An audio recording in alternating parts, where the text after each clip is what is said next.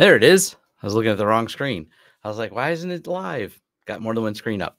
Welcome to Vlog Thursday number 358, Home Lab Tech Talk and live Q&A. Happy Thanksgiving for those of you that are celebrating Thanksgiving. I, pretty much, I think it's just a U.S. holiday, but uh, I believe, like any holiday, uh, probably there's people celebrating things elsewhere because uh, the interesting thing about holidays is it's kind of fun to just mix all the cultures and say, hey, let's do this over here. I don't know. I have friends outside the US uh, that, you know, maybe because they brought their US heritage with them are celebrating it. Either way, that's why I'm doing it early in the morning today is I have lots to do. Traditionally, Thanksgiving is a day that uh, people get together, eat a lot of food, and there's a lot of family things usually going on. So I didn't want to, one, people who want to get, catch the stream go, oh, look, I can't really participate live because I'm doing family things. Also, myself, I'll be doing family things. So uh, that's why I'm doing it now. Anyways, that little long ramble right there. Welcome, everyone. There's not as many people here in the morning uh, as I kind of expected. That's why I usually do things in the afternoon. But nonetheless, let's start talking about a couple things. And one of them is going to be security. This is a uh, topic I want to dive a lot more into as always. One, there's just going to be a lot more security things to talk about. We just dealt with, or we're kind of dealing with, we delegated. Uh, there's a customer, a client, if you will, someone who's just booked some consulting, not one we manage. But there's always a lot of things when they go wrong. There's a lot to talk about because it's not at all about talking about the company. It's about all the processes they had, what processes worked, what processes failed, how they could have done better. Because bringing forth a lot of that insight is how we help people prevent this from happening in the future. And uh, that's a really big topic. Me and Jason were kind of rolling around and definitely want to dive into just some of the overall lessons learned on things. And I'm going to share this thread right here over on Reddit so people can read along with me. This is kind of related to it. And I'm going to jump to the part here. I love that Huntress did this. They did a nice threat report for what they see small and medium sized businesses. And there's a lot of details in here, but let's just jump to some of the stuff in here that I think is really interesting because I've seen so many changes. And one, the discussion at Reddit post is great because once again, Huntress very much engages the community on things. But the summary of all the different attacks that they've seen, this is just really interesting because a big right here this is the part that people this is a result of better security, but this is just where the threat actors are pivoting to. A decreased reliance on custom tools and especially malicious binaries and intrusions uh, until final action, such as a ransomware deployment. As a result, many classic mechanisms for identifying and mitigating threats, such as pure antivirus solutions, are less effective for countering intrusions. And what they're doing here, there's a couple factors. One's called LOLBins. I love that it's called LOLBins, live off the land. And this is because there's so many tools available in PowerShell and everything else that you can build quite a bit of tooling with the existing binaries that exist to figure out how to attack an adversary. So these threat actors get in here and they're like, hey, I'm gonna not gonna run some weird software, or download some weird software that'll get caught. I'm gonna use the currently available tool sets. This is why tools like SIEM are becoming so important. Anything that can monitor for changes and go, hey, that's unusual. This person in this particular department doesn't usually run PowerShell in this way or these commands. And then that leads people to understanding security better. Uh, this is just a really nice in-depth report kind of showing and we work with huntress so we're aware of a lot of these things. Huntress did a nice summary of them but these are discussions i have with the huntress team because uh, i you know probably engage with them maybe once every week or two uh, you know just discussing with people there. I, I end up knowing a lot of the different hackers uh, that work there and uh, there's some really smart smart people there that keep an eye on this uh, tool usage intrusion, scripting your object, non malware, 29%. One of them in here, though, is the RMM tools. There's a summary of this right here. Observed RMM tools. This is uh, this is the challenge. And I've run into this a few times myself. ConnectWise is getting better at this, but hey, the success of the product is a big reason. The ScreenConnect being used as an initial attack vector.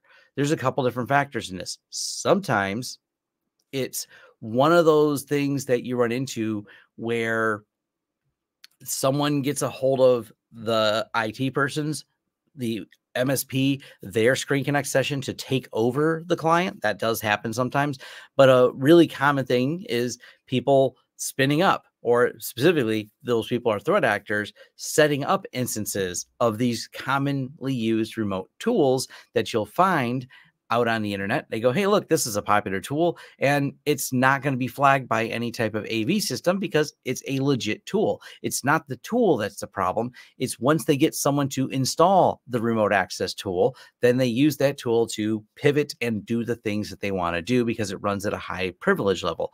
So this is it, it's just breaking down things that we really know. And Kyle talked about this at the IT Nation. We talked about this in our talk. We're going to do an updated talk of how I would hack you identity focused security. What they're doing so often when they get on these isn't always ransomware, but a lot of times looking for business email compromise. It is amazing how much of it's this. And I know they have a chart in here for this. Suspicious inbox rules are 47% of what happens.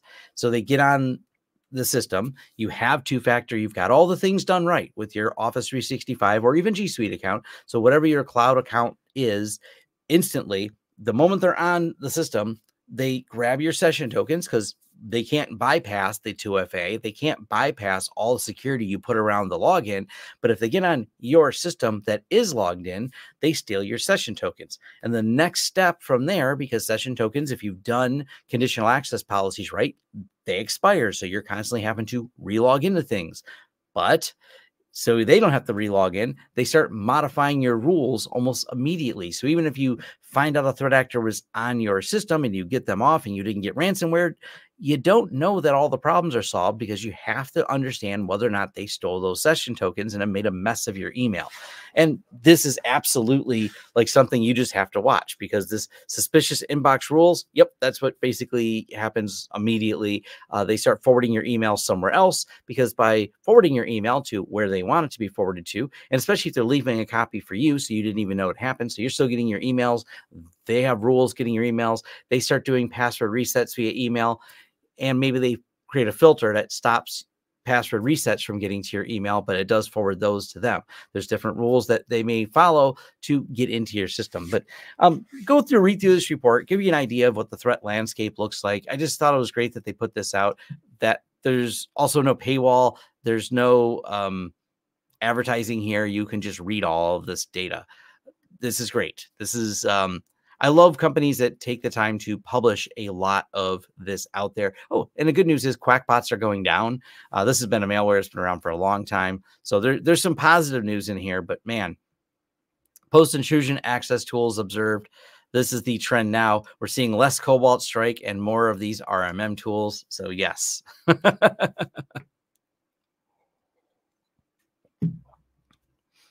Default ports, any benefit in changing them? You know, very very little. You you may get a reduction in noise because if I had port 22 open to the public internet, there's going to be just a lot of things that look for it. But if you look at the modern tool sets that are out there, Shodan's an easy example. Shodan doesn't care what port you put things on.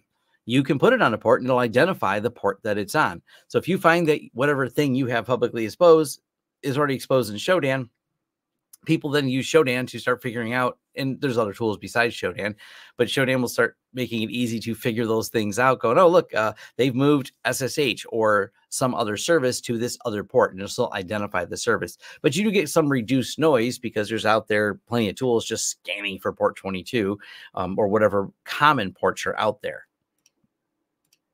Good morning from Germany. Awesome. The land down under. Awesome. All the way Australia, I'm assuming.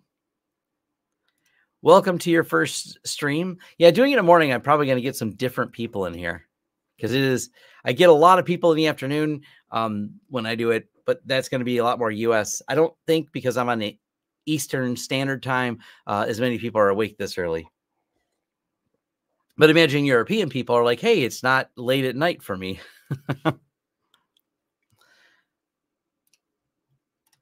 Oh, let's see here.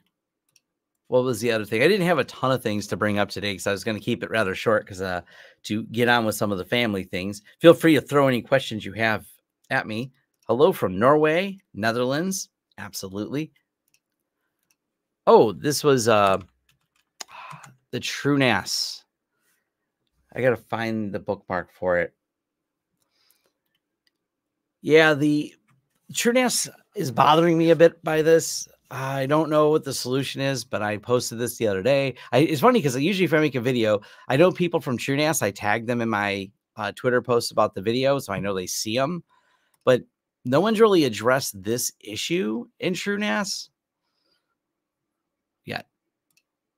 It's Europe, Euro, Euro prime time. Yes, maybe I should do some morning ones, call them my European live streams. and it's late night in Australia, so lunchtime in the UK, Turkey Day, absolutely. But this right here, uh, MinIO. So it's already been deprecated from the latest version of TrueNAS Scale, and they turned it into an app. But then it's also now been announced it'll be missing from the next update. So 13.1 of TrueNAS Core will also get rid of MinIO. Now, it's good reason they're getting rid of it. It's got some security problems, but it's just kind of annoying that they haven't really addressed the certificate issue in it. And you're like telling people to use it, you're putting the option for security certificates, but not working or testing it properly. And you know, I posted in the forums and I've got dead air. I got one other person just says, I have the same problem. And I'm like, okay, Oh, and now a third person just thumbs upping it. So that's the latest alert on this is a third person giving me a thumbs up on this problem. These are some of the annoyances I still have. Like, I don't know. I I don't rely much on any of the S3 stuff, but if I know a lot of people do, we've helped enough clients with it. And my solution has just been to run it in a Linux system and set up MinIO because it's not that hard to set up and then point it back at the storage server. It's kind of a pain compared to you'd think your NAS having something integrated like this would just be an easier way to do it. But this has not been something they've been able to really uh, sort out. I had servers on the open internet used to do fine by running SSH and alternate ports starting a few years ago. There have been lots of brute force password guessing on the alternate port. Yeah, it as people start changing ports, things just move. Same thing like people who move RDP on separate ports. This happens a lot you obviously find tons of them on 3389 looking at Shodan, but uh, yeah, there's lots of RDP not on those ports anymore. It's on other ports. Uh, let me find out here. Shodan.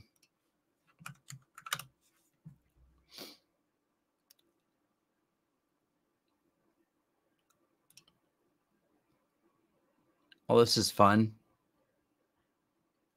We'll grab, I'm going to share this tab here. Uh, this one said it had RDP. Let's find out. Oh, this one's on 3389. Let's find ones that aren't on 3389.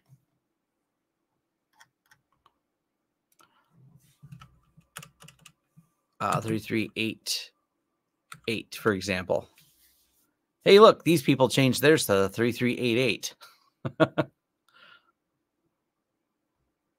so it really doesn't matter, you know, moving a port. It's still it, the its response as RDP is kind of as simple as that, which which doesn't bode well for people because then now it's exposed and then flaws in RDP are a problem. Have you any issues with pfSense 2.7 upgrade systems and it corrupted both to the point where they can't boot? So far, none of them have caused a problem. Um, I the thing I tell people to do is before they update, reboot your system. Because if the system has a problem that keeps it from rebooting, and then you also loaded an update, the problem still existed and the update didn't fix the problem. This is one of the just processes. Reboot it once before you update then you know if it doesn't come back, there was going to be a problem. So this is where these systems have really long uptimes. Matter of fact, most of the uptime is going to be probably since the last update. And if something goes wrong and something runs out of space, but maybe the box just keeps on working because the services haven't crashed, but they won't start back up on the next time, this is why a reboot is important.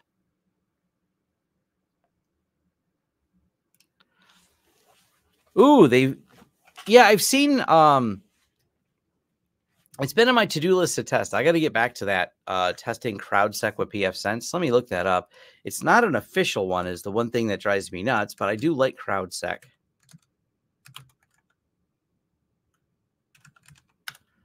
Let me find the uh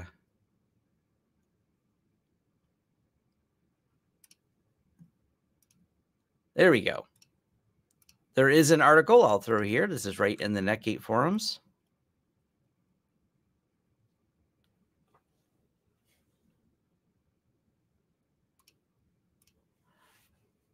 Uh, let's see.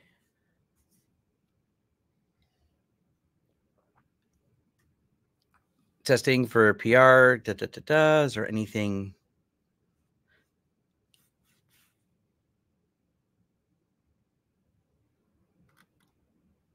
CrowdSec finally coming. Is there any updates? A day ago.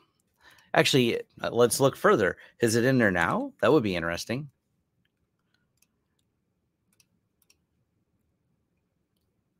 So I got so busy, I never really had time to test it on there.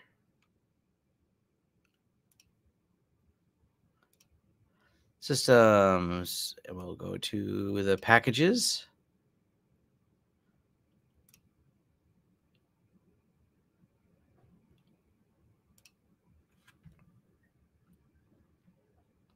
Available. Yeah, I don't see it in the available packages yet, so I don't think it's officially there. So definitely uh, looking forward to it being official, though. Uh, nobody has mentioned anything about removing OpenVPN and Cobia. Can't find an app for this. I don't know why you'd want OpenVPN in your uh, NAS. I've never thought to do that. And I don't think VPN inside the problem is you, you need updates more frequently than I think the app can be updated or is updated is probably a better way to put that. But the um change over next CE. All right. Let me find this real quick. Let's actually pull this up. The better solution, I think, if you need VPN, Tailscale is definitely one of those options. So what VPN options are in here? Yeah, the current VPN options are uh, WG Easy, Tailscale, and ZeroTier. So you can still use WireGuard in here, but I don't I don't really have a use case where I'd really I don't really use a VPN inside of my NAS. This is why none of these are installed. I usually think VPN is something I use on my firewall. That way the firewall can manage one VPN connection because usually not one thing I want to talk to, it's several. But they do have WireGuard and Tailscale and ZeroTier, so you do have options in here. Will be a plugin as far as I know, but the OPNsense, which has had CrowdSec plugin for a while. So cool. Good to know that they're in there. Uh, are you in the XCP-ng Discord, by the way? Yes, but I'm bad at. I get so many notifications in Discord, it's hard for me to manage. So, yes, I'm in there. Let me look. Yep, definitely in there. I go to their forums every day. If you want to actually talk to me or the team, I should say, the forums is where I spend all my time. I just don't think Discord's useful for uh, figuring things out. I think it's actually terrible at it. Real time chat requires me to be real time engaged. And by the time someone says, Oh, didn't you see my post in Discord? And if it's been two days, it's a mess. Versus if I'm here in XCP-ng, I can go to my notices and read the things I was tagged in. So I can reply and have a very concise, searchable, indexed reply. I think Discord forums suck.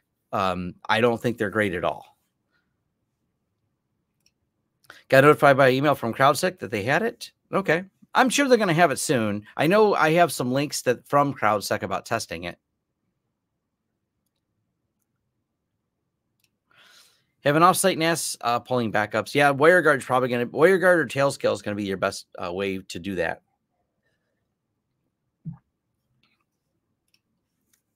So yeah, if you don't, if if the remote location doesn't have a firewall that you can load a VPN, go with WireGuard or Tailscale because yeah, it looks like they did get rid of um, OpenVPN. My guess is they didn't want to maintain the security of it. they're pushing more things to apps because you don't want to have to do an entire OS upgrade every time there's an app change. And that is where the challenges come in. So they're separating, and this is just pretty good common sense from the people over at iXsystems for both versions of TrueNAS separating out OS updates versus the updates for the apps. So the more things they can push into an app is going to be easier for them to maintain. Because matter of fact, they're not necessarily the ones maintaining it; they're just pulling it uh, from Docker and then pulling it into uh, the app.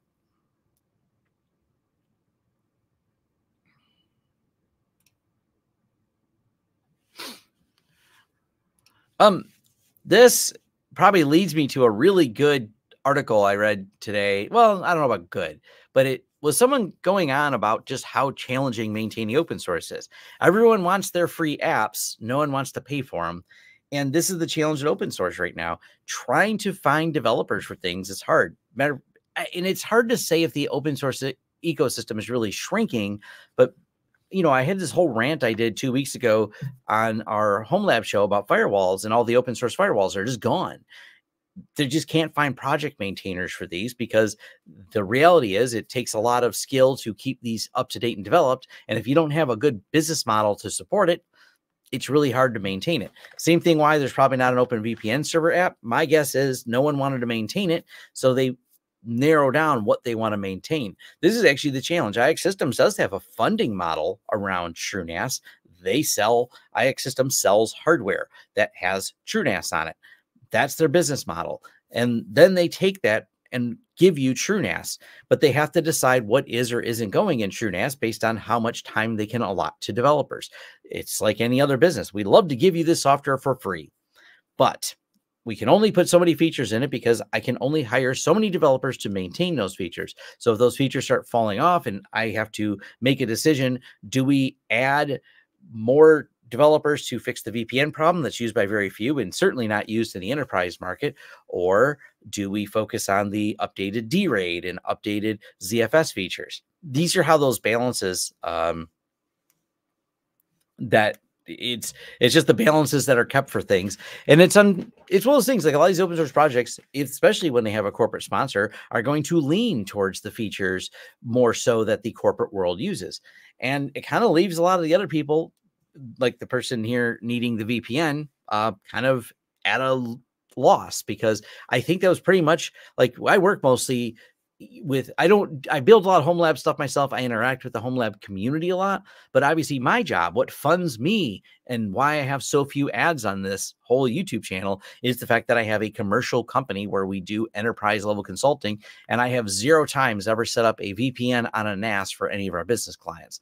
And TrueNAS and iXsystems knows that there's not this high demand for it. So my guess is that's why they dropped it, which is unfortunate, but um it until we can find someone yeah and the developers need to eat yes i wish to use single pc as hypervisor how do i access web interface cli is it possible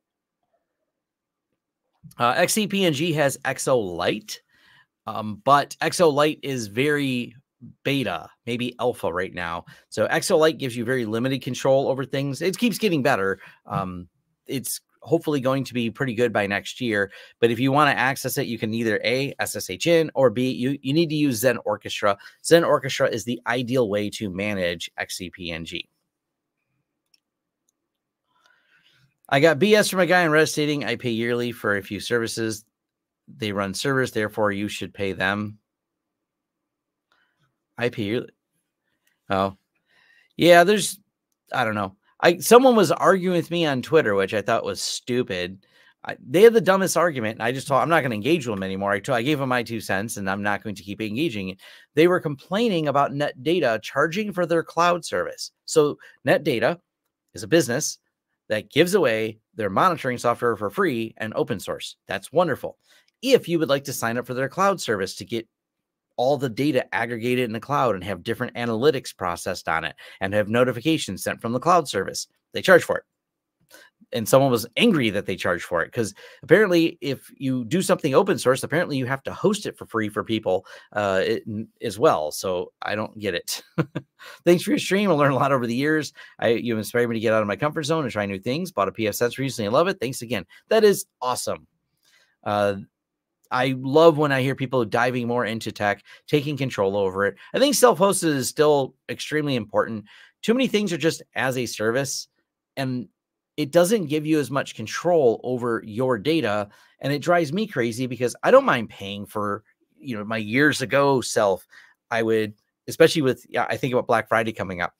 I used to buy lots of DVDs. I wanted to own the movies. And I was like, cool, the movies I want to watch are on sale and I can watch them anytime because I own the media. I have no problem paying for the creation of it. Like, I don't think there's any problem that I bought a DVD of a movie or Blu ray or whatever, and I own the media. I can watch it anytime. I have now supported the people who created the movie and that ecosystem. And I think that's great. Same thing with music.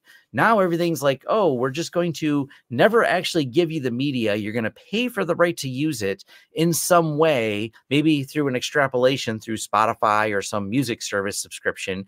But the moment the moment you stop the subscription, so does all of your access to that media. And I think that's something people are getting a little aggravated about because companies try to sway you to use their particular service by simply signing an exclusive deal with your favorite artist. Now, your favorite artist is no longer on the service you're currently subscribed to, and now you have to make a decision. Well, some of the artists have signed with this one, some of the artists have signed with this one. Which subscription service do I have? And this has come back to the home lab where people go, No, I don't mind buying and downloading it. This is why I'm a big fan of like Cory Doctorow. I buy all of his books. I support the last few on Kickstarter, and I get to have a absolute copy of them to put into my library. And I think that's wonderful.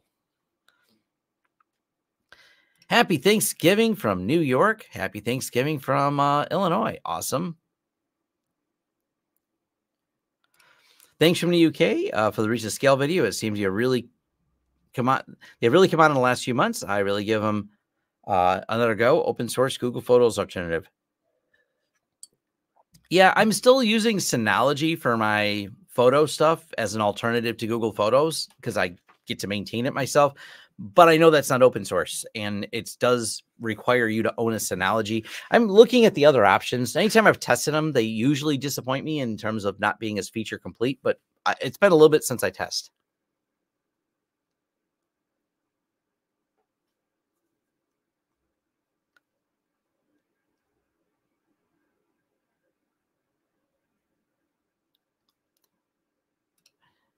Open source doesn't equal free. Correct. Yeah, Tailscale is awesome. I did a video on Tailscale, uh, using it with TrueNAS scale. I, I think it's great. Like that's just an awesome, solid solution. Greetings from Australia. Did you ever test power consumption of a server with different hypervisors? Tested um, and scale. Okay, uh, that's a challenge to really get that as a good number because it probably depends on the hypervisor itself and how you configure it and what services you're running in that hypervisor. So that I don't know. That's an interesting test. Maybe I want to dive into. I have a handful of systems and I'm working on like a budget home lab build video, but it is interesting to think about the I, I love all these little devices they have low power consumption. Patrick from ServeTheHome has reviewed this. This is on my desk because I need to review it. If I have it on my desk and I keep staring at it, I know I'll get it reviewed. But yeah, uh, power consumption comes up a lot. And testing the power consumption between different hypervisors, interesting. I might try it.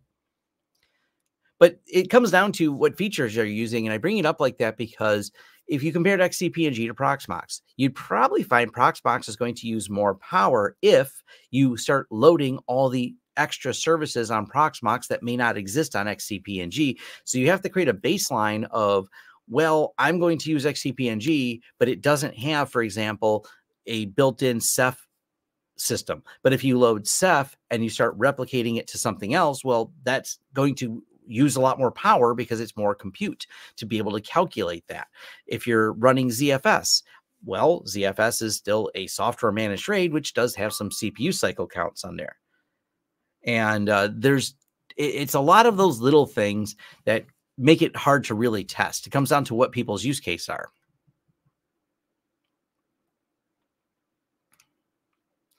Network question: Short run cable less than 30 feet, PoE plus CC uh, good, always useful, always useful copper.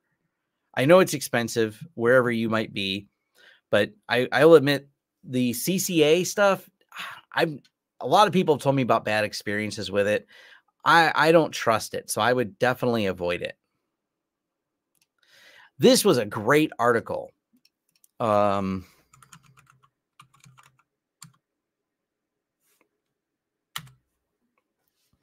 I w- I'm going to pull this up because this is something I think is absolutely. I, I might probably do a dedicated video because Signal's added so many features.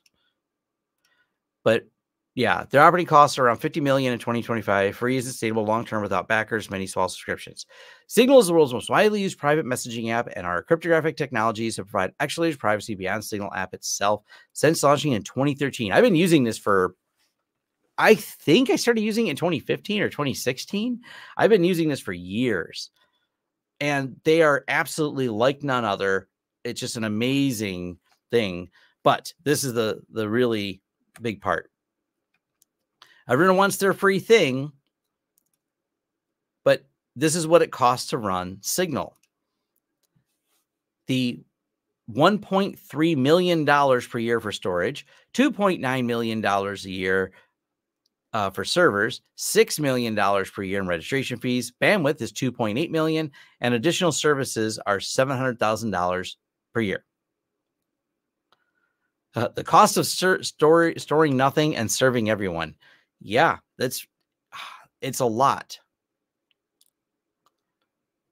So just like everything else, the Signal message and files are always unencrypted. When you send a message, Signal temporarily queues that message for delivery. As soon as your message is delivered, that small bundle of encrypted data, your message can be dropped from the queue. The storage of unencrypted files is temporary, and undelivered and unencrypted data is automatically purged after a period of inactivity. Even though everything is only temporary, this storage still costs $1.3 million per year. Yes, it is.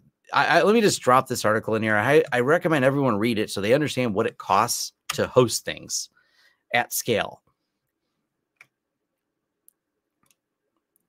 Uh, Synology got a great product, and their prize is their NAS is cheap versus what you can do with the NAS. Yes. Building my first home lab, building uh, 10 plus years of your videos. An XCP really helps. Uh, I stepped stepped using stopped using Xen back around 2007. Wow, it's come a long way since then. Yes. It's early, so I'm reading slow.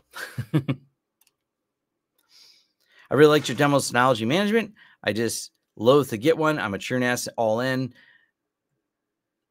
And thanks to you, I moved away from non-RAID storage of data. Yes, absolutely.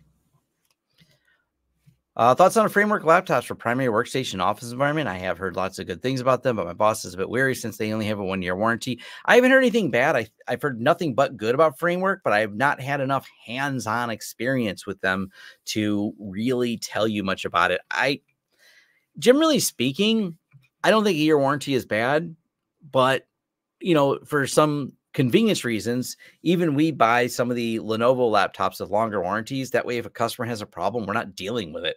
So that mm. does come down to the business situation of things. But I don't think Framework makes a bad product from anything I've read so far. I think I have only one or two friends that have it. And I have enough tech people I follow that have used it that really sing its praises. So I'm not aware of anything bad uh, specifically about the framework, but do have to dive into that a little more.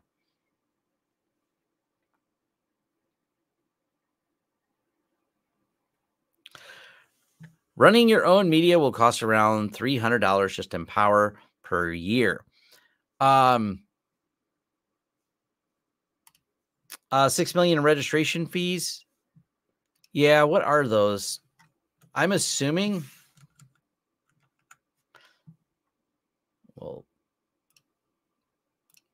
They have it all broke down in detail. Signal incurs expenses when people download Signal, sign up for an account, or when they re register a device. We use third party services to send a registration code via SMS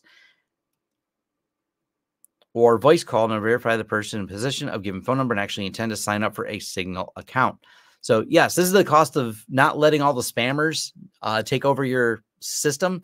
The, the, the love hate people have with Signal I love Signal because it uses phone numbers. The number of people that are angry that it uses phone numbers, and I know they're working on an alternative identity, but like for example, I have lots of communications with my staff that I need to be secure. How do I know instantly that it's my staff. Well, I have them in my cell phone. So when I link them up with Signal, unless they change, and yes, they have done this, I'll see a safety notice change if they get a different phone. So now I can actually find out that, hey, did you actually get a new phone? I may talk to them, but I'm always clearly identifying who they are with Signal, and that's not easily hijacked. So, yeah.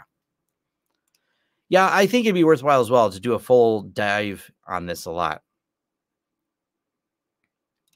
Uh, yes, Synology does have an all flash NAS device. Hey, do have a video on TrueNAS scale permission settings and how to set them? I find ACL confusing. Yes, I do. you can Lawrence uh, Lawrence dot video. I'm going to throw this here. This is my entire TrueNAS playlist. I've made everything pretty simple. Uh, it's video slash TrueNAS, and that will get you to all the different TrueNAS systems. Um,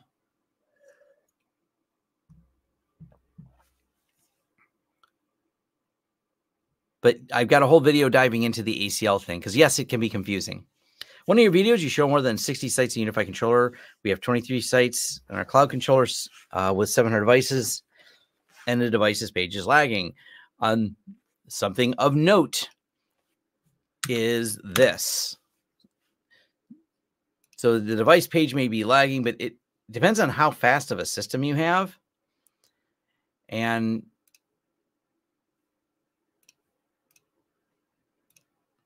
the system I'm running on is quite fast. That it comes down to speed. This is a uh, Ryzen 9 9500X that's running our UniFi controller. So, are you running it on something that has a that level of speed equivalency? That's the question. How fast is the drive access? Um, so it's to to get it to be fast. It comes down to how performant is the system.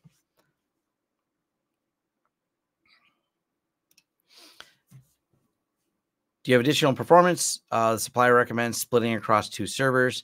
Yeah, and sometimes that's the solution. Once you, it, it kind of depends on the number of devices. Uh, we have a couple clients that they have like a thousand. Uh, one of them I think has six thousand people, so that are accessing the Wi-Fi across like three hundred plus devices. That's on its own controller. Um, and it's the controller is located inside that particular. It's a co-managed IT, so that controller is managed by them on prem.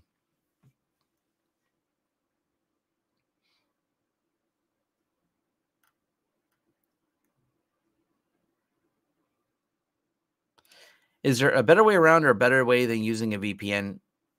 Uh, a better way than what? I've got a video about using Tailscale as your VPN, so I think that's definitely a good idea. Um, that so I, I, maybe need more context for that question to answer it.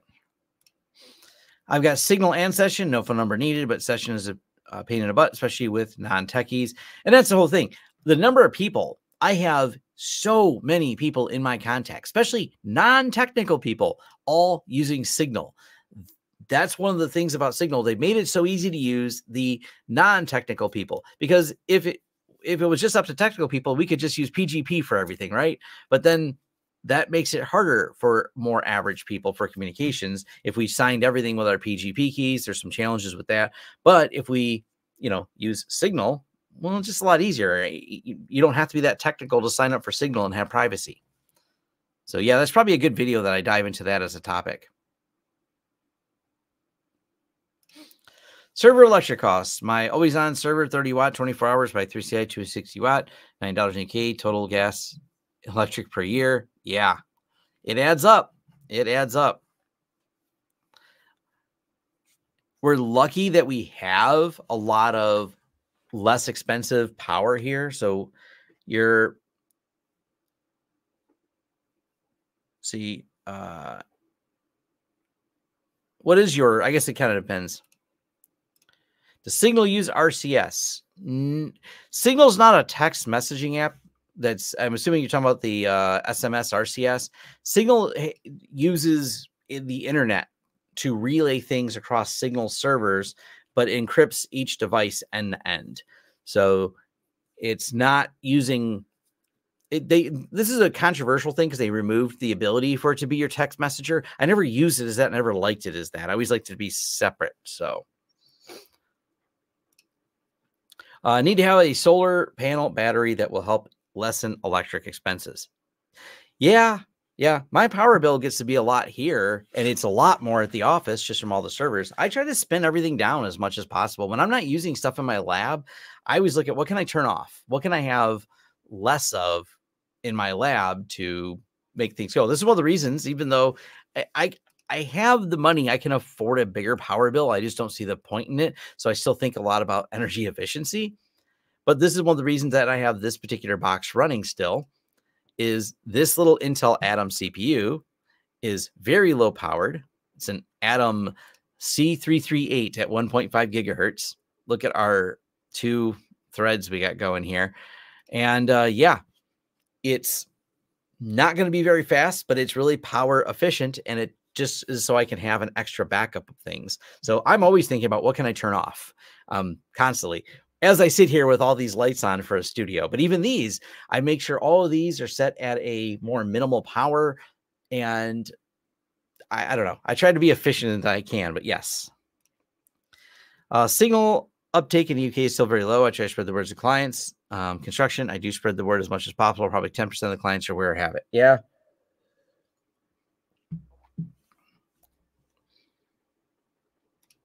Yep. Um, 24 7 uh, NAS, and you can use sleep functions. Yeah, that's an option as well. I haven't really gone that far because there's certain things like I could, and maybe I don't know if it's a good experiment or not, because I don't like the idea of putting the hard drives to sleep. Because with spinning drives, spinning them up is a higher wattage event. So if I run and I do run backups a couple times a day to mirror my NASs, I could power it down, but I don't think the power savings versus the surge of getting it back up to speed and the wear and tear in the drives may make that worth it. Uh, so that becomes its own challenge. Now, if it's SSDs, yeah, that's that's different.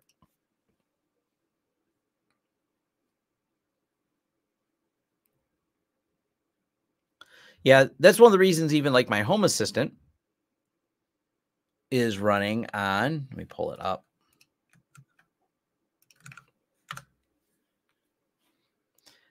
I still have this running on just a Raspberry Pi 4 because that way, one, I can shut other things down as needed.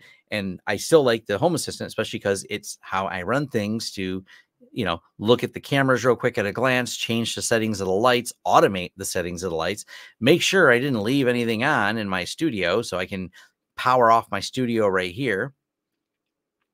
I can make sure my space heater, I can turn it on or off right here because uh, it's rather cool in my basement. But I don't want to heat my whole basement. I only heat the part I'm using, which is my studio. So yeah, it's always think about. I think about a lot of this stuff probably more than I need to. I don't know. I think it's a good exercise.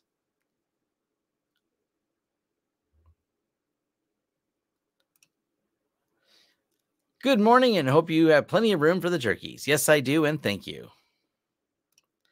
Long time lurker, first time comment. Uh, I work for a very small MSP. My boss wants me to set up an Azure hybrid setup for an existing client. I've only on only have only to have the on-prem server be decommissioned. Yeah, that's going to happen. Still wondering how you got your camera feeds into HA.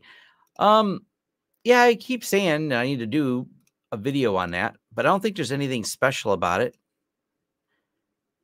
Uh, you just pointed at the Synology.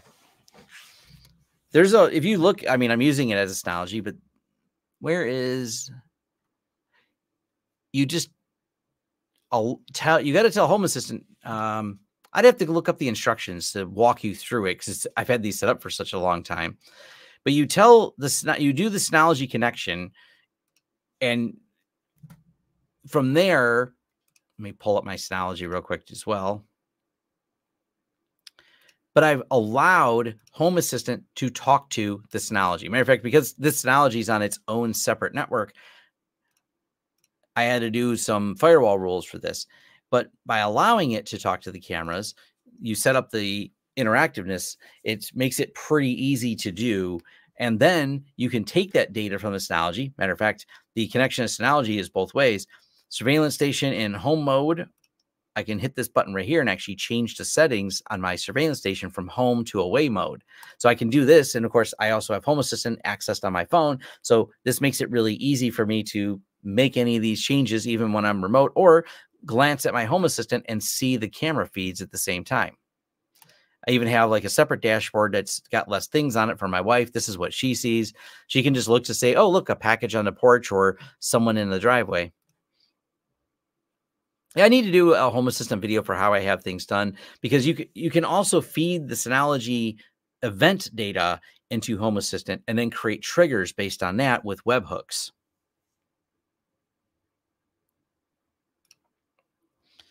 Uh, you might want to consider quartz here for your basement. I have one on my desk, just keeps my hands warm. I did heat. Yeah. Um, I've looked at different ones and there's not a massive difference in them. So the one I have is actually a I don't know what to describe it, the radiator type. Uh, the reason for a radiator type one, it's quiet, it doesn't make any noise. So it can be on while I'm recording and there's no chance of noise. But I know the quartz ones are pretty popular too. The Blink cameras, the cheap ones, work with Home Assistant. I don't like all the cloud enabled cameras. That's one of the reasons I'm, i like Synology so much, is because I, I can run all my cameras not cloud enabled. I can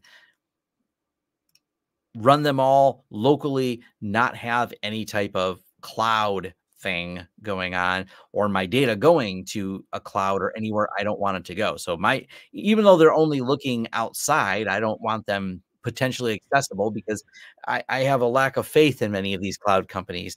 Well, one, I do have faith that they'll charge me a subscription. I don't have the best faith that they have the best security on these things. So being able to uh, not have someone else see what's in my backyard as I show my backyard on YouTube, but I have chose to show my backyard on YouTube.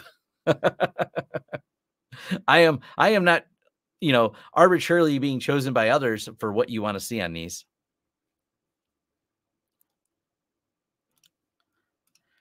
Do you run services in separate virtual machines, for example, one for Nextcloud, one for UniFi controller, or do you run in one virtual machine then in Docker? Kind of depends on what my risk is. So I don't really like things all in one, but sometimes it's a bunch of services for me that I'm less worried about. Maybe I'll run them all in one, but you got to kind of think about how would they escape to each other? How do you want to lock them down from each other to prevent any type of potential issues? So it's more efficient to run everything in one Docker, one virtual machine with a bunch of things running in Docker. That's going to give you the greatest level of efficiency, but not necessarily the best levels of security. So that kind of comes down to your use case. Certain critical infrastructure things like UniFi, I don't run UniFi in Docker. It runs as a independent VM. There's no official Docker support for UniFi. I don't use Nextcloud. Maybe in the future I will, but I'm I would probably run Nextcloud, you know, if I did it in Docker, that if I was using it to you to manage critical documents. I might want to keep that separate. But there's a lot of little random services maybe you don't want necessarily uh, kept separate that you can consolidate into one. It's always kind of playing out the risks. Hi, Tom. Interested in AirPlay and similar. Is there anything your clients' and networks optimize it? I, I don't know how I would optimize AirPlay. I guess I don't understand that as a question. I don't use AirPlay, so Uh, Reolink are fantastic cameras. I don't know. I've had more problems with Reolink. Uh, Amcrest seems better, but yeah. I'm curious on cameras. How would you set up cameras without UniFi or Synology? Uh, I don't know.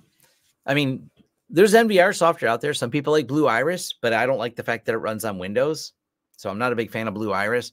Um, I don't know any good open source NVR software there's nothing out there that I would say is good. There's stuff out there, but it's not near as feature complete as the UniFi, Synology, or any of the other commercial platforms out there.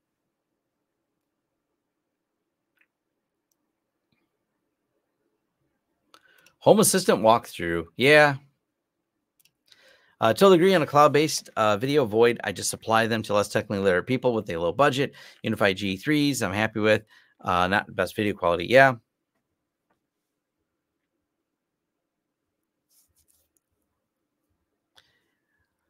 Frigate's nice, but I don't know that Frigate I would say is feature complete. Like it's a good tool, but if you started lining up Frigate against some of the commercial ones, you'd probably find it doesn't line up quite as well. Not that I'm saying Frigate's bad or you shouldn't use it, it's just one of those challenges. Uh, Shinobi is the other one I was going to bring up. I always forget the name of it. Um, I always set the, I have it bookmarked. I go to my little NVRs I have bookmarked, and Shinobi's another one. It, it's not, it's just not feature complete. It's that's the big, big I'm trying to figure out the best way to say it other than that. Like it just doesn't have as many features or the polish you're going to get from the UniFi or Synology solutions. Best way I can describe like how I feel about it.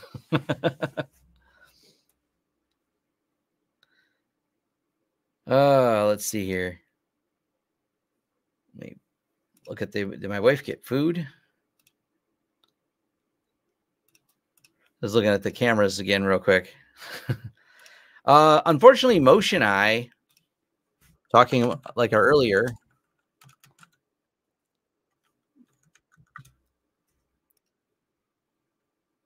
let me uh, stop sharing that tab. Where is the link to this?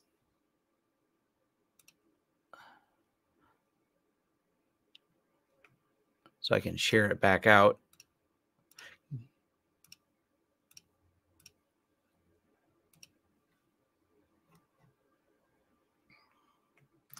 So right here, you notice it hasn't been updated in a number of years. And this is the problem with open source project. Uh, MotionEye is a Linux distribution that turns your single board computer into a video surveillance system. Due to personal reasons, I can no longer actively involve in this project. If anyone's interested to take it over, please contact me. Three years, no one took it over. Wait, updated README. Nope, someone just, yeah, that's all. They updated the README this is the problem. Like everyone wants the free software, but no one wants to develop the free software. Um, so it kind of becomes a challenge. I don't know. That's what happened to Motion Eye, if anyone's wondering. Any idea why major companies like Walmart or the government are using for outdoor surveillance cameras? Um, one of the big players in the market is going to be Axis. And I mean, so we do consulting on cameras a lot and i like when people start out with oh man i can't go with one of those chinese cameras i need an american based company and then we show them the price and they go all right i'm going to go with the amcrest i'm going to go with something else and it is a challenge because if you look at how much the Axis cameras are they're about eight times more expensive than their counterparts they're not like just double the price they're substantially more. Now, UniFi is not bad. I don't think there's any restrictions on the UniFi ones that I know of. And the ones from Synology, the they don't have a big variety, but the surveillance cameras from Synology are now certified, uh, so you can use them at some of the big places. So UniFi is getting bigger into that game. Have you ever considered uh, Apple Silicon? There's a few projects to run Linux natively on M1. I'm personally considering this for my instance. Um, uh, I hate, I hate how much I like this stupid MacBook. I'm not ready yet to put Linux on there until it gets more feature complete. But this laptop works really, really well. Uh, this is a Mac M1, the Air. I mean, to me, it's just a terminal. All it really is is a browser terminal and an SSH. I SSH to my jump box that's in Linux and I get things done. So it doesn't like I'm really using the Mac OS on it am replying to emails 99% of the time on it. But I will admit the M1 silicone, awesome. I really hope I would love to load Linux on this. I would love a feature complete Linux on there that was as good as the Mac OS runs on it because the battery life is ridiculous on it. Like I'm in super impressed with just how long the battery lasts on that thing, which is exactly what I want. A nice passively cooled terminal that I can sit on my couch with for four hours if I want to, hacking away at something. So, yeah.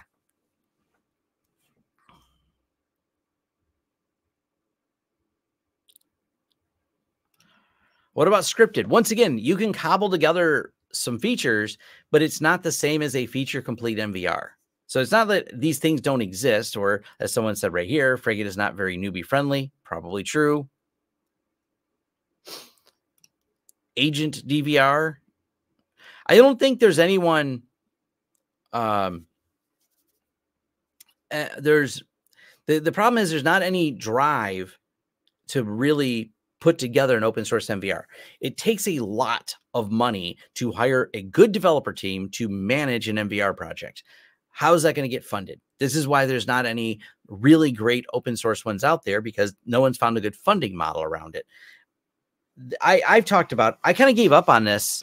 I was going to build, and I still want to, but I don't know, even with all the, you know, people I have that follow me that work in the tech space, I wanted to build a better open source document management system for managing IT documents. But man, getting that funded, learning how much it would cost to build for one, and then figuring out how to pay for it all. Uh, I, I had people talk about some of the ambitious things I had to do. And I talked to a few people that are pretty realistic and said, yeah, I mean, you, you're going to have to start with about 200, $300,000 and then figure out how to maintain it from there. And it's like, okay, I can come up with that money, but I, at some point I need a return on that money because I can't just leave a giant hole in my retirement fund of I, I cashed it out to do this thing that has no way to make any of the money back. This is the challenge with some of these open source ones. So who's going to put together if it takes you know 300 400000 dollars to really build a good nvr system with a good team of developers that are experienced then how do we reap the money for it that's a challenge. And this is why there's not a lot of uh, ones out there, especially because usually someone's going to want an open source one to support all the cameras. So a camera company may not want to do it because if the camera company were to build the NVR, they're going to want it to exclusively work with their cameras. The hardware companies, Synology, that's kind of what they do. You can only get Synology surveillance station on a Synology device. So they've invested a lot of money in building their surveillance software because you have to buy their device for it. So they have a funding model for it. But yeah, this is a whole uh, challenge around it.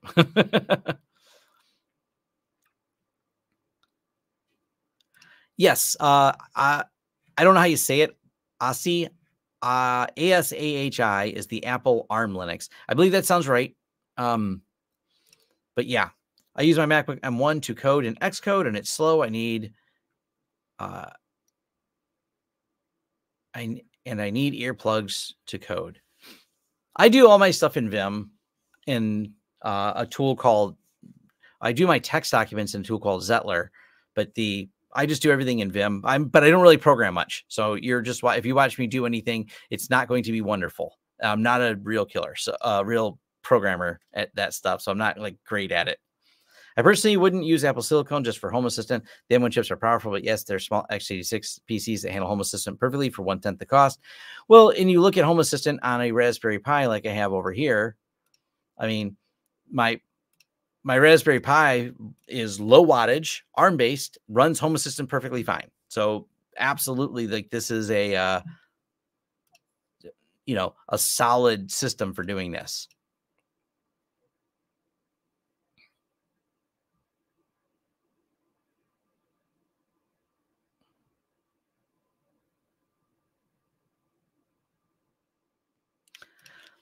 A friend of mine has an M2. Is it bad that I was annoyed by how good it was? Yeah, they've just done such a good job on there. Yeah, two or three hundred k the bare minimum for that project. Uh, I might not even be considering having an average senior dev salary. Yeah, this is a real challenge. Um, when you're building out some of these projects, is what a senior developer cost today? You know, I was talking about this with Netgate because there was all the hate with Netgate of the fact that they, um, you know, are charging for the home lab edition. And I granted they should have just charged for it and not changed it and went back on it. That's definitely a different topic. But the number of people that are kernel kernel developers that are working for Netgate. if you look at what a kernel developer makes, and I think they have three or four people who are uh, kernel developers. Kernel developers make based on salary and I don't have any friends that are actually the kernel developers, but I have friends that are close. So this kind of lines up. They're Linux developers. They're making close to two hundred thousand dollars a year. so how do I, um, how do you fund a team of senior developers making almost two hundred thousand dollars a year to write really good, solid code and then give the product away for free? That's yeah. As he it's still strange to say. Any final thoughts on pfSense? No, I have no more thoughts than I had before on it. They miscommunicated, they misstepped, they went back and fixed it. Uh, do you have any use case for trying out the latest Raspberry Pi? Um, I haven't really because my home assistant runs fine on my Pi 4, so there's not a need to move to a Pi 5. Do you send any logs from Home Assistant to Graylog or Prometheus? That's a good idea. Currently, I don't. Uh, I didn't have a use case for that, but I've never really looked at what logs it would send. So that's how do you send syslog out of Home Assistant to Prometheus, or I would use Graylog, but that's interesting.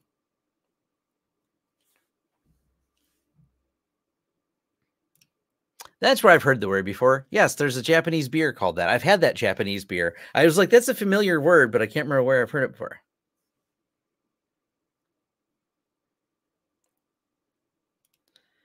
If Signal's not a text messaging app, do you text?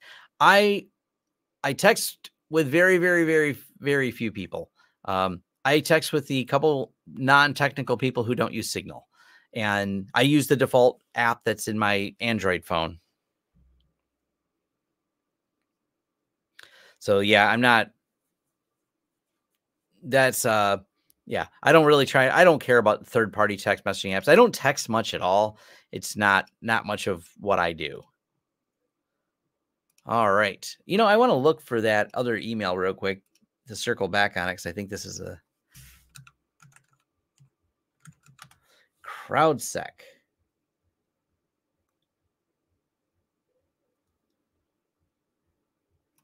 Uh, let's pull this up because it's almost here. There we go.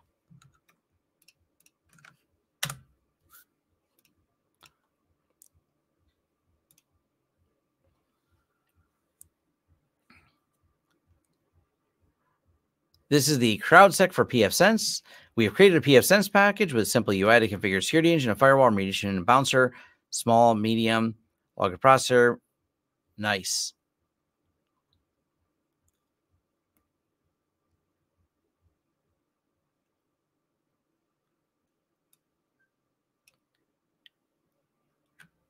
So they've submitted a package to the pfSense developers to review. Awesome. So this is we're getting close. So yes, this is uh from the CrowdSec blog. I'll throw a link in here on on that. Let me actually get the link. There we go. So if people want to know, I just want to, I was thinking about that. I'm like, I want to I want to do a video on that as a topic. So, any other final questions? I'm going to wind this down because I got to get going to go do some things and go visit some family. It's been great talking to everyone. I'll, I'll give this uh, five more minutes. So, five minute warning. Throw in your last questions here. If you're a lurker just wanting to throw questions, these are 136 people here, um, or just say hi. You know, type that in the comments.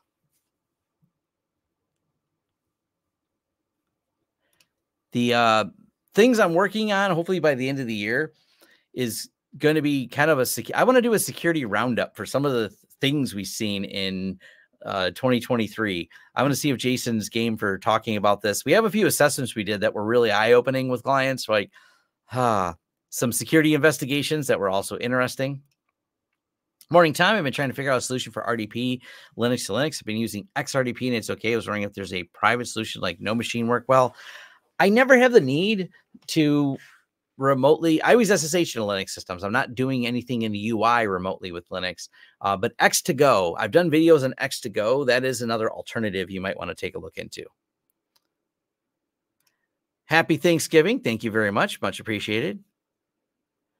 DNS recommendations. I just did a recent video on this. I still choose 9.9.9.9. So 999, 9999, four, four nines, quad nine. They're still my favorite DNS. Is there a good UniFi course that won't break the bank? It's a good question. I need to start working on actually putting a whole course together at some point. Um, maybe I can find a sponsor for it so it can be free. That might be um, might be a good idea right there because I could definitely teach a whole UniFi course. Matter of fact, I want to teach one to our internal staff, which I will also try to make externally available. What is the best way to present iSCSI Proxmox? Like one block for every VM or different block for every VM? I don't know because I don't use Proxmox. I, I have no, I can't say no. I'm going to have one customer that they're going to maintain their own Proxmox system, but we just don't really do any consulting on Proxmox. So I don't, I, I couldn't tell you like the most optimized way to use it. Would love that. Sold. You know, that might be might be a way to fund things. Maybe I should look at doing Kickstarter campaigns for projects people want me to do. And if they get funded, I go do that project, like creating a course on UniFi, and everyone can benefit from it. Um, that way, we have a funding model to figure out how to cover the time. Because if I do a deep dive and take the time to do this, that's a lot of time. Uh, that's why there's sometimes I I haven't had I, am trying to make a lot more time for myself to be able to do these long term projects, but I still have a lot of things I've been doing in my lab that are also kind of commercial related ventures uh, to fund things. So, yeah, that's an interesting think about um, there. Who is Quad 9? Google it. You'll even find videos and interviews on my channel for Quad 9. Uh, definitely, I've, I've talked about them a lot. They're a great free DNS service and they're a non, they're, they're a special organization. I believe they're a nonprofit.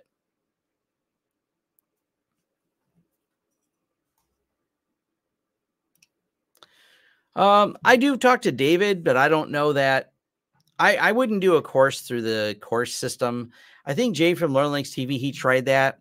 He me and him, me and Jay talk a lot. And Learn Linux TV, where he publishes all of his courses for free, he's had the best luck with that. He did not have the best luck with creating separate courses to put them on different services.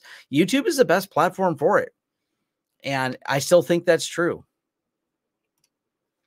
Lurker here. Just want to say thank you for your videos. I was in IT 10 years and went into uh, SATCOMs back in IT three years ago. Your channel's helped so much. Awesome. Good to hear uh, that you're in there. I don't know if Howard Hughes is your real name or a throwback in reference to actual Howard Hughes. Either way, makes me smile. Glad to hear you're in IT and happy. Yes, Quad 9 is in Switzerland now. Uh, how do you get the energy for all your projects? Do you work out a lot? I work out very little. That's one of my problems. I need to work out more. Uh, I I need to exercise more. I at least at a minimum exercise once a week. That is the minimum I do every week. I try to do more, but at least I get one thing in a week. I do I go for walks to listen. That's why I listen to all my podcasts is when I go for walks or bicycle riding. But mostly I'm I'm a workaholic because I can't stop. Uh, when are you gonna do another video with Jeff? Hmm. I don't know. I should. I talk to them all the time, so hopefully soon. We got to figure out something we can talk about. Proxmox one IP per WM. I don't understand one IP per WM. What does that mean?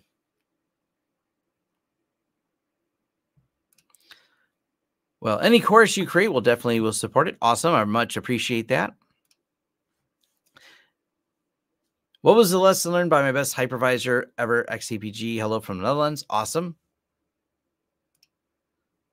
Do you have any plans on creating start to finish plan pfSense with all plugins used, say for a client? We use very few plugins for a client, but yes, I do want to do some new uh, start to finish tutorials in pfSense. That's high on my list of things to do. They now that both versions are on the latest version of uh, BSD, they're both at feature parity for all the basic functionality um, I really want to do that. My getting started with pfSense and a new version of it. That is for sure. How do you feel about WireGuard these days? I'm rather disappointed to find it was rather tedious to set up and running and required a lot of uh, cut and paste, uh, no export for keys. I, I'm fine with that because I know how to do it, but I I don't have an answer for making it easier. I don't know that there's enough demand to make it easier. Uh, I don't know. So my opinion is I like it, but it's one of those things we do a lot of WireGuard setups. We set this up constantly for clients, so we're good at it. And I don't even think about it. Just copy paste, copy paste, save, look at connected, and hey, let's uh, build some routes. Um, yeah, maybe I'll do some updated tutorials, but I don't have an opinion on. I, I, it'd be great if the developers made like an export this file, import this file type of setup, but I don't know if they're going to do that or not. I'm having problems with TrueNAS Cobia, Nextcloud over Tailscale. Tailscale WebUI won't launch. could do a video on setting up properly. That's a different problem.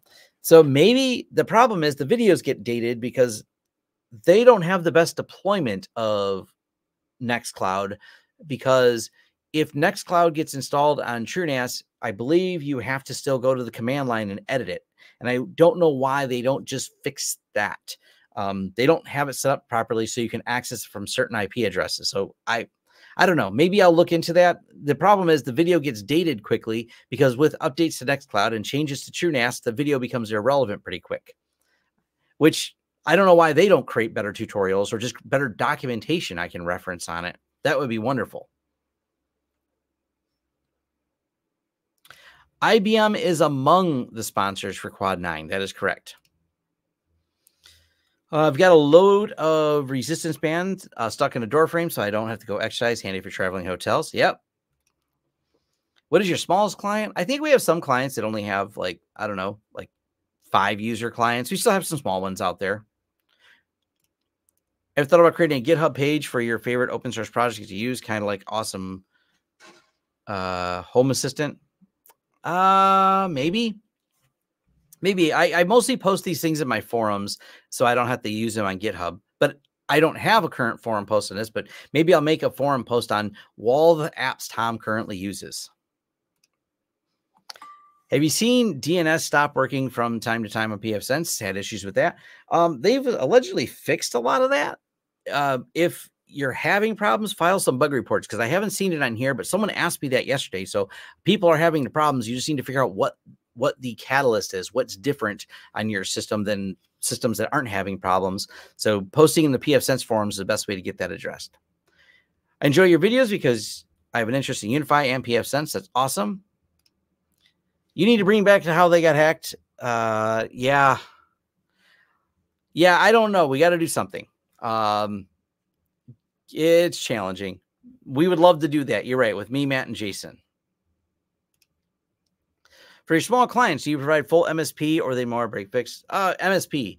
We the we do break fix work. We still do it, but someone was mad yesterday because we couldn't do it the same day. They wanted consulting on a problem, and they were upset that we didn't have immediate availability for them. They were like called in the morning and wanted immediate availability. I'm like, I don't have the immediate availability for you uh, for this. So that's been kind of a challenge is scheduling them in. If we're not busy and I don't have a bunch of things scheduled, sometimes we do have same day availability. But yeah, we do break fix, but the break fix is kind of a challenge. We try to schedule people all the time because that's how you can be most efficient with your technicians. Keeping a technician twiddling his thumbs waiting for someone to call is challenging because you don't know because not every day someone wants same day. Matter of fact, a lot of people are fine with scheduling out the service ahead of time. Yeah, I want to bring it back. It's figuring out timings with everybody. Xavier doesn't even live around here anymore. Matt Lee, I love Matt Lee. He travels a lot though. And so that's a challenge. Me and Jason, Jason has a lot of commitments as well. So we've talked about doing it. The problem is finding three people and lining their times up is hard. It's hard with two people. And me and Jay from Learn Linux TV were able to almost do quite a few home lab shows on Wednesdays. But even you notice we missed some, especially with the holidays and everything. Jay's gone this week again doing other things, so he was not able to make it, so he didn't do the home lab show. So that's a biggest challenge with those how uh, that. But I even if I bring it back, doing it myself on a regular cadence, that might be a fun way to do it. Um, and then I'll bring in others to join me as they have time. So that's kind of my thoughts on that. Like I'll I'll run with it. I'll let them figure it out if they got time. Like I'll I'll establish a time to do it, and other people can figure out if that time works for them. And if it doesn't, I do it anyways. I, that's sometimes how I how I do things. Uh, ask if I can come to a site a few hours from now. Um, no. Yeah, Can you have an MSP without break fix and still have customers? Um, the problem is if you want everybody to sign a contract, you're gonna you're gonna narrow down the people that will choose you. Maybe you're getting rid of the people that won't, but the reality is if the only way you'll do work for someone is on contract, but they're skittish, they are worried whether or not you will be a good fit for them. This is the um, let's date before we get married problem of the MSP they kind of want to know whether or not you're good at something before they sign a one year commitment with you and get all of your tools loaded on their system. It's a big commitment for a company to switch IT companies if they have an existing one. But if they can work with you on a project, you can prove that you're someone uh, that you would actually be good at doing there.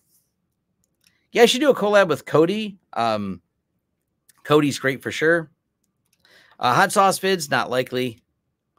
And I just say not likely because they they don't perform well on the channel, and I lose subscribers substantially because it's off topic from tech.